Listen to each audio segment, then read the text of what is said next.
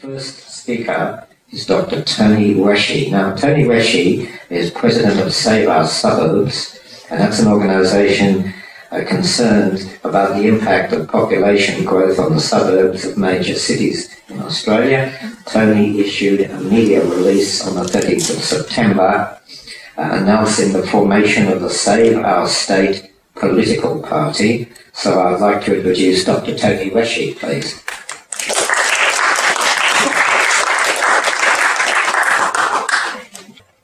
Well, thank you very much for that very kind introduction and for the invitation to speak at this gathering this evening. Now, my angle on the topic of populate or perish is the impacts of increasing population on our cities. To try to see exactly uh, what the uh, effects are of an increasing population.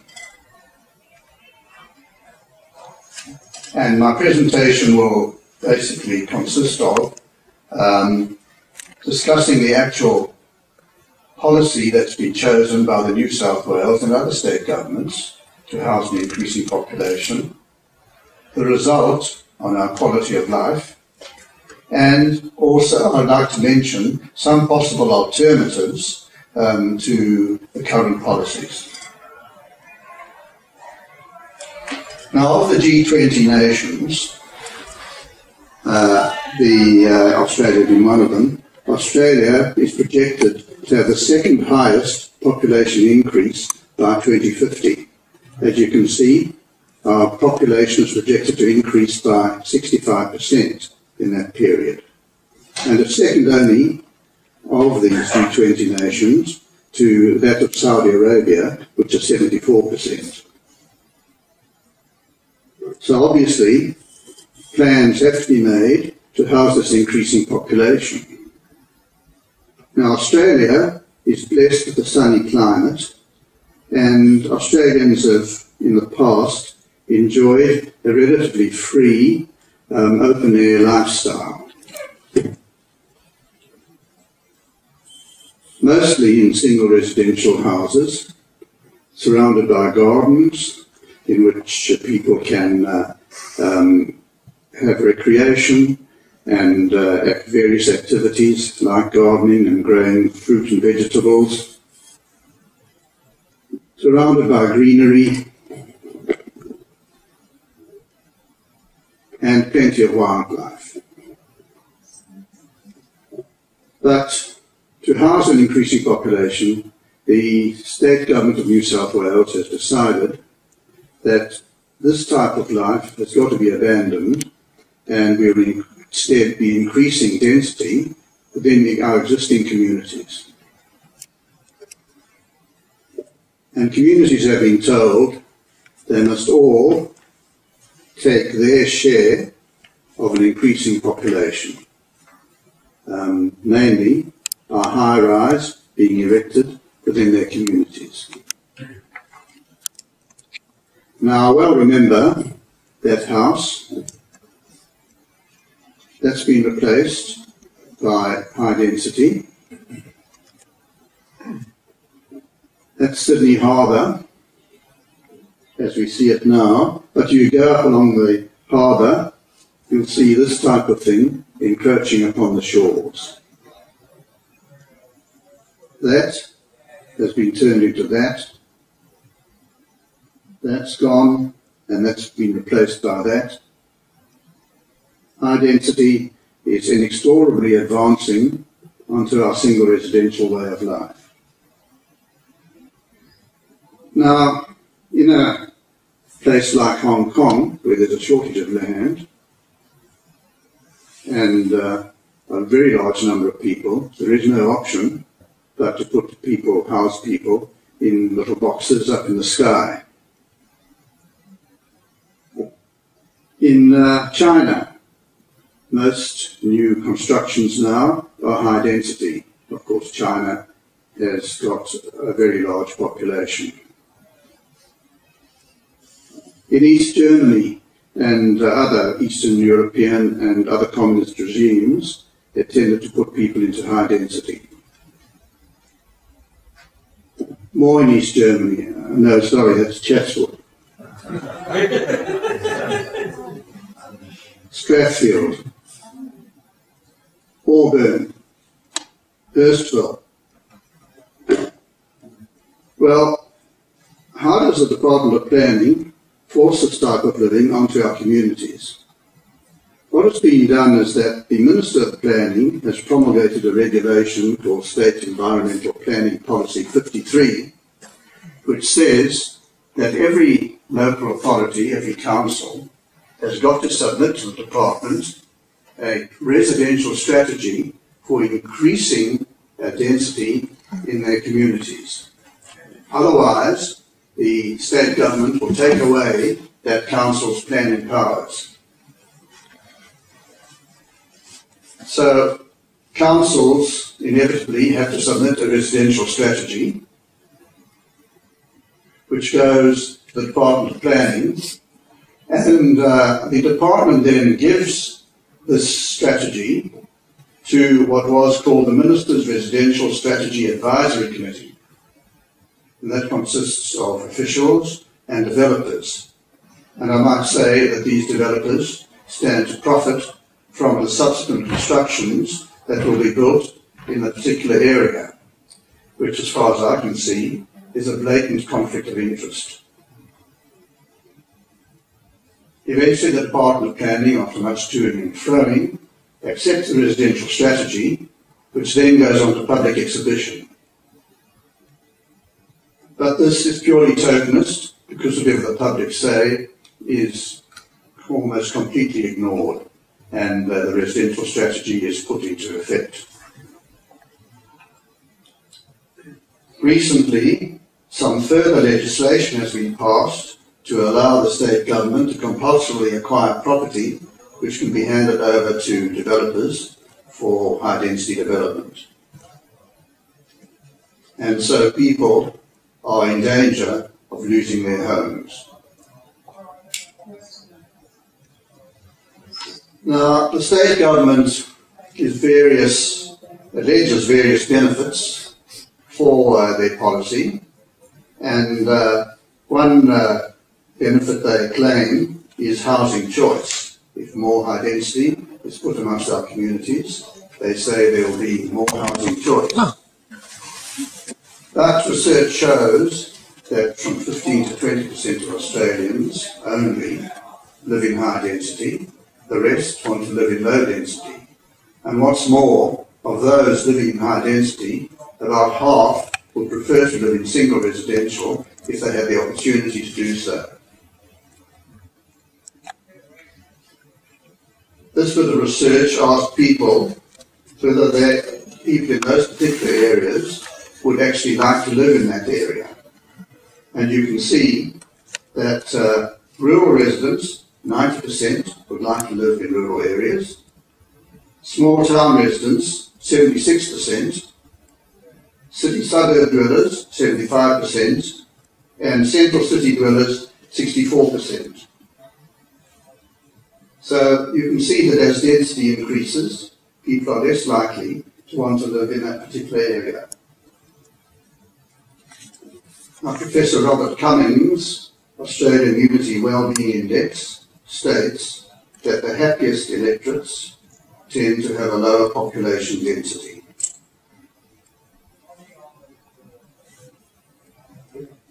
If one uh, looks at various factors over a period of time, could I have this pointer, please? One can see that from 1970 Yes, I Sorry. You can see from 1970 the actual cost of construction of dwellings has more or less stayed constant. But the actual prices of houses has escalated enormously, and that has occurred since the onset of the application of high density policies.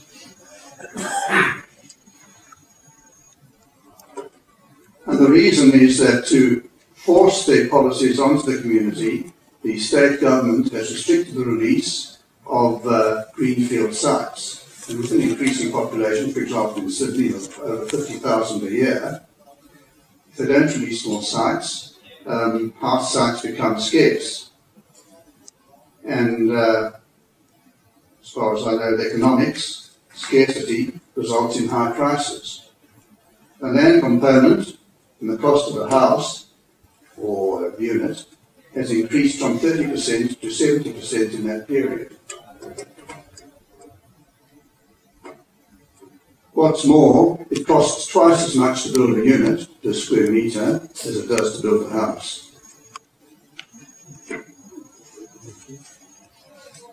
Now, I think we all are fully aware that Sydney is suffering an extreme housing affordability crisis.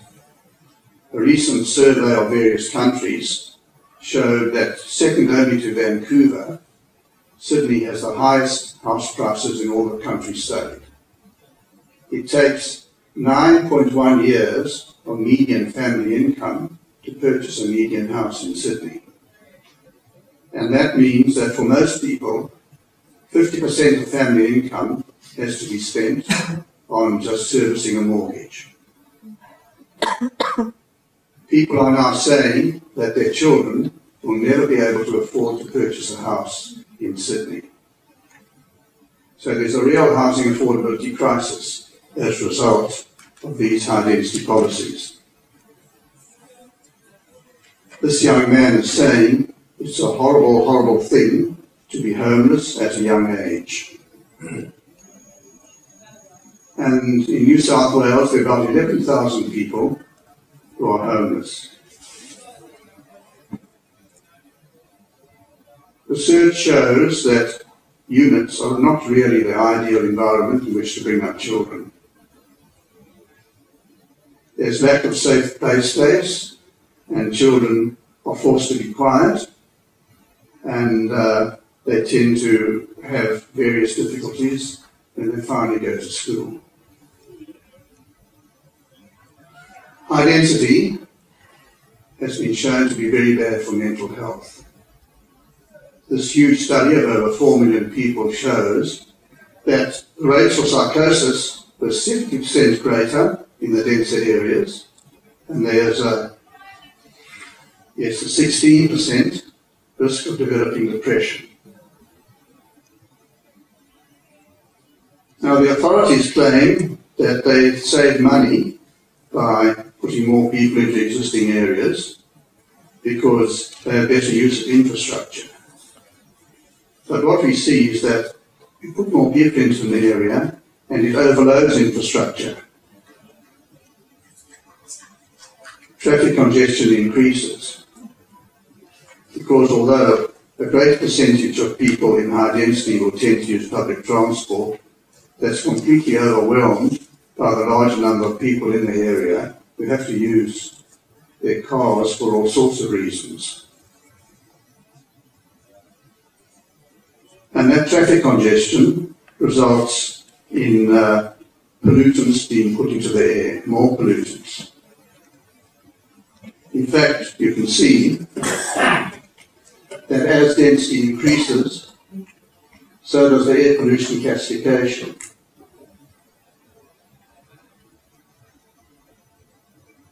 And this has serious effects because the World Health Organization calculates that three times as many people die from air pollution from cars as they do from uh, traffic accidents. We know that our state rail services are now finding it extremely difficult to cope the increased demand. So do our buses.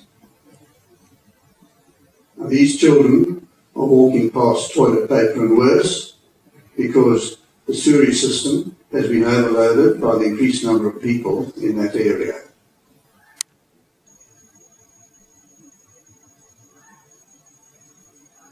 One must realise that the original infrastructure in our suburbs um, was designed for the original density envisaged.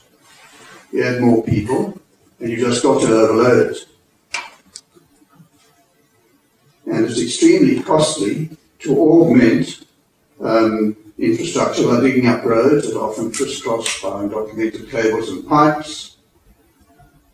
You have to interface with outdated technology, and there's, of course, damage to existing services. The assumption of saving um, just doesn't take into account the costs of upgrades and retrofits. And I suggest that if population is to increase, new infrastructure is a cheaper and environmentally better option than retrofitting. And greenfields development provides efficient, cost-effective mass production. Now, perhaps the claim that trumps all claims from the high density advocates is that uh, high density is environmentally sustainable. It's claimed that it's more environmentally friendly to have high density than to have low density. Now, this study by the Australian Conservation Foundation has calculated the greenhouse gas emissions per person per year, and they've done that per postcode. And we see, for example, that in a high density area like North Sydney, The emissions per person are just under 31 tonnes per year. All right, let's compare that with, say, a low density area like Liverpool. You see the emissions there per person are just a bit over 17 tonnes per year, about half what they are in the high density area. It's completely contrary to what we've been told. And this is uh, the case over all our capital cities, where if you look at the high density core areas, the emissions are about 28 tonnes per person per year. And in the core in the outer areas, the average is 17.5 tonnes. Now there are readily um, understandable explanations for this, which I won't go through now. But we just perhaps look at one, which is the energy consumption, that's the electricity and the gas, household gas, um, in dwellings, which by the way is quite considerable, it's double the energy of uh, transport that people use. We see that in high rise, the energy used is much more per person than in detached housing. And the reason is because the various services in the high rise um, the lifts, the lighting the common areas, the air conditioning, clothes dryers. Also, the embodied energy in the structures themselves is, according to my calculation, about five times of, for high rise compared to single residential. And then if you think of the future, where we want to use sustainable energy as much as possible, to collect solar energy and to collect rainwater, it's obvious that the greater the roof area per person, the more effective these endeavours will be. People are concerned about cities encroaching on land. They say Australia is short of land, and really we should contain the size of our cities. But if you have an increasing population, it's just look at what the effect will be. If you take Sydney as it is now, which is about 45 by 45 kilometres, and you were to double the density in the residential areas, and these are about 40% of the area of the city, you'll see that you only save about 5 kilometres on the periphery. So you double the density and then you say five kilometres. Now that is absolutely negligible when you consider that only 0.3% of Australia's surface is urbanised. So that really the, the uh, stipulation that we would save land is really no excuse for putting us all in units like chooks in battery cages. Well, what are the alternatives? Let's look at some of the situation that's occurred in the United States, Dallas, Fort Worth, and Atlanta. Now, back in 1981, the population of those cities were comparable to that of Sydney and Melbourne. And uh, now they've considerably exceeded that of Sydney and Melbourne. The populations are much more. But they haven't instituted high density policies, they just allowed their cities to expand. And if you look at the bottom graph, you can see that in that period, the housing costs have remained constant at about three years of family income to buy a house. Whereas, as we know, for Sydney and Melbourne, they've gone through the roof.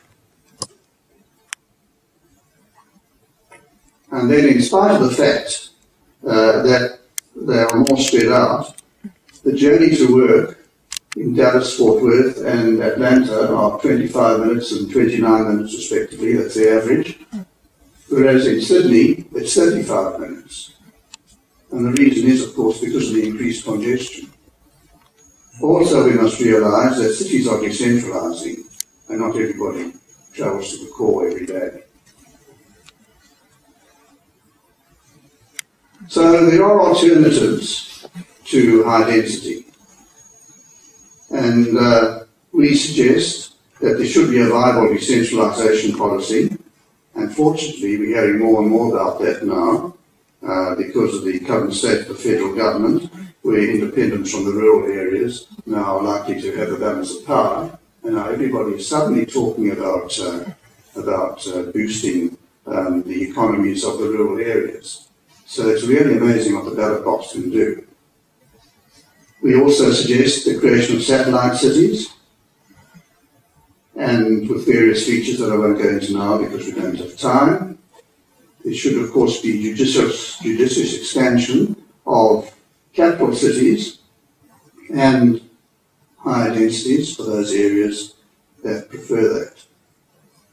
As I maintain that really, uh, to force high density onto people who design their whole lives onto another state of, of living is really impinging on their human rights. So in this part of this discussion on population and parish, what I've looked at is the policies that have been chosen to cope with an increasing population, the result on our quality of life, and suggestion that there are indeed alternatives.